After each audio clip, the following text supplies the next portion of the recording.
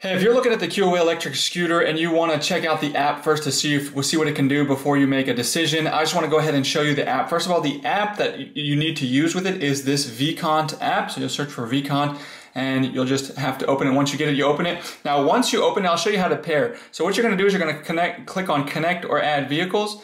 And when, when you get this out of the box, there is a QR code on the user manual. You can actually just scan that by just hit the, instead of Bluetoothing it, you can just uh, scan it with your camera and it will um, scan to the thing. Now, once you get it connected, I'll show you the things it can do. So it'll obviously show you how much battery life you have left. It will show you, you can turn the headlights on and off, you can lock it, you can locate it if you lose it, it'll beep, or if someone takes it.